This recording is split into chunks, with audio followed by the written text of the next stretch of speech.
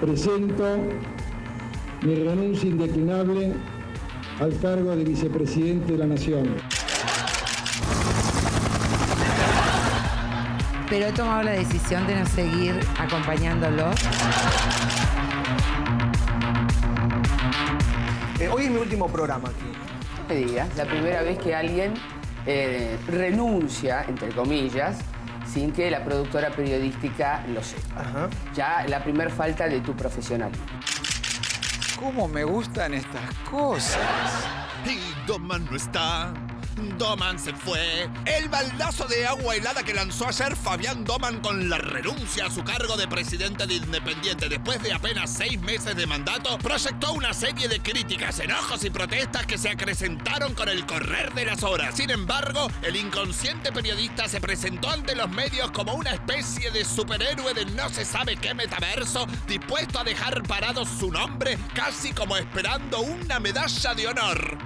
¡Impacto! Hola Fabián, buen día. Hola, Doman te saluda, ¿cómo te va? Hola Beto, ¿cómo, cómo, cómo estás amigo? En realidad es más bien. una llamada de amigo a amigo que, que otra cosa. Creo que como presidente también tengo la obligación de pegar el grito y decir el rey está desnudo. Si la.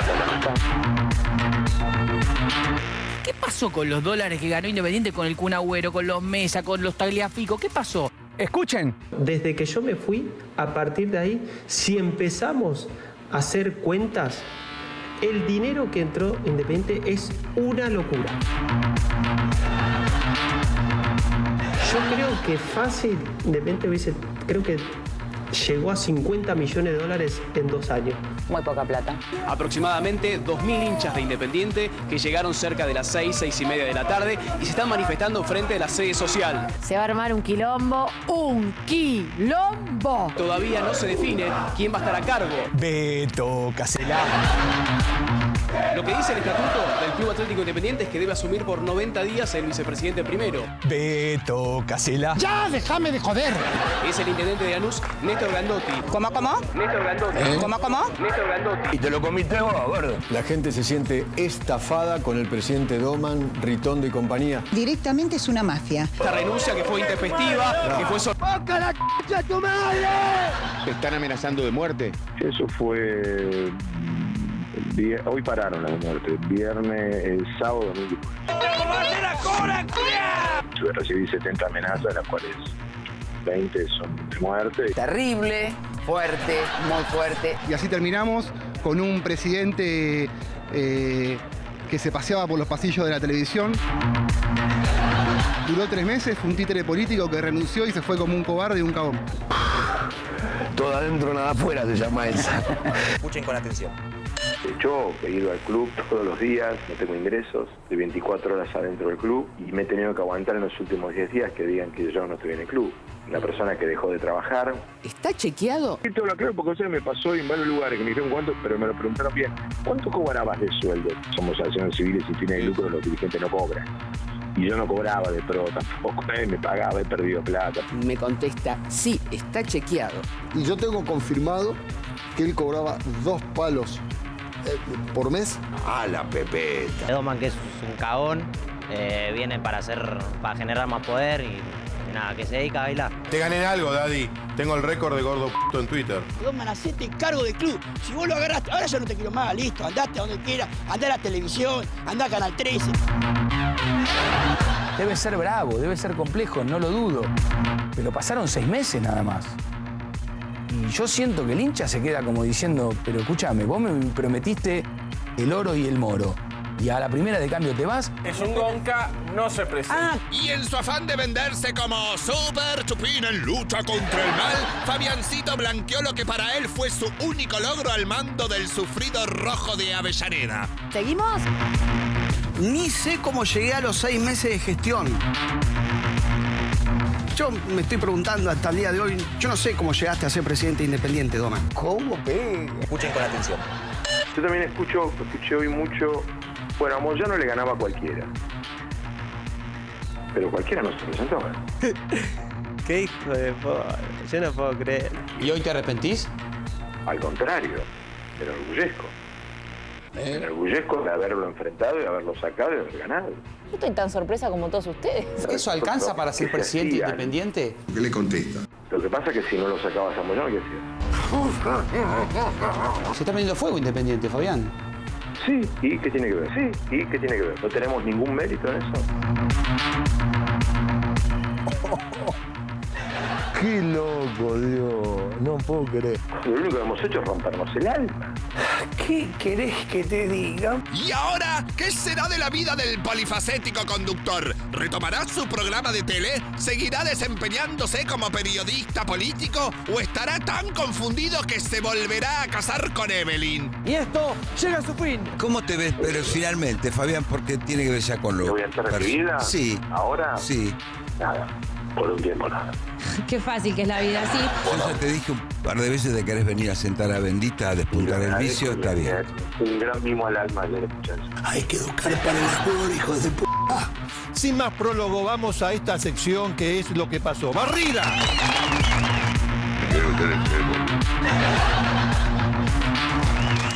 Fuera del aire me preguntó, che, pero ¿y cómo haríamos para que yo me integre ahí? ¿Tenés que sacar a uno?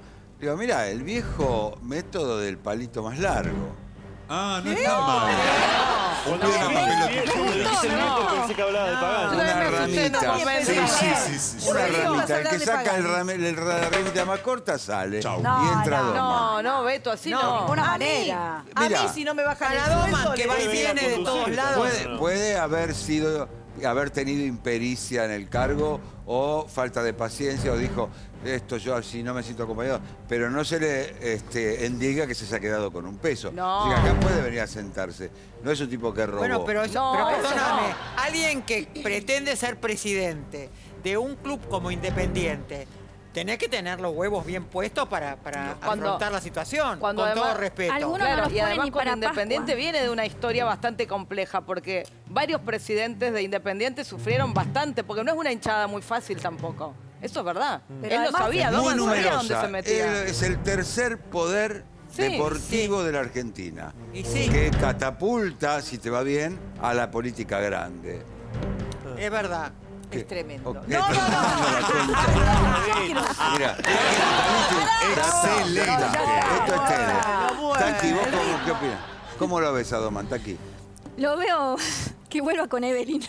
Que vuelva Es lo con mejor Evelyn. que puede hacer. No, va a venir está acá. solo, está, está desorientado Hoy me solo. saludó amablemente y me recordó también amablemente la plata que le sacamos de la caja de seguridad con Evelyn. Igual estuvo vivo, ¿sabes en qué? Cuando empezó la nota con vos te dijo, hola amigo. Amigo, ya cuando claro. arranca la nota No, con no, hola no. amigo. Perdóname, Te yo tengo a la mitad de mi familia que está desesperada y enojada con Doman porque se sienten abandonados. Si vos hiciste una campaña, supuestamente es porque tenías un plan. Es, ¿Qué no les Obvio. gustó? Bueno, que, lo puede puteen, que lo puteen en la cancha. Y bueno, porque claro, No, es difícil aparentemente eso. había mucho dinero que le habían dicho que con el que contaba para estaba. equilibrar la finanza y la plata nunca estuvo. Dice, loco, al final Pero un presidente se supone Pero que tiene que saber esas cosas. Claro, los arreglos que él hizo Puede lo ser, dejaron puede solo. ser. Sí, yo yo no lo voy a defender hasta la necedad.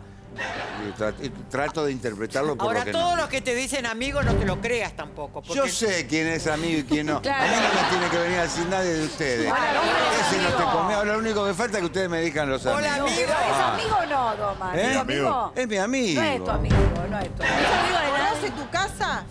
Sí. ¿Te podemos ed- editar los Mira, amigos? ¿Conocés la casa de él? Sí. No, mentira. Si fuera amigo de verdad, no necesita empezar la charla hola amigo.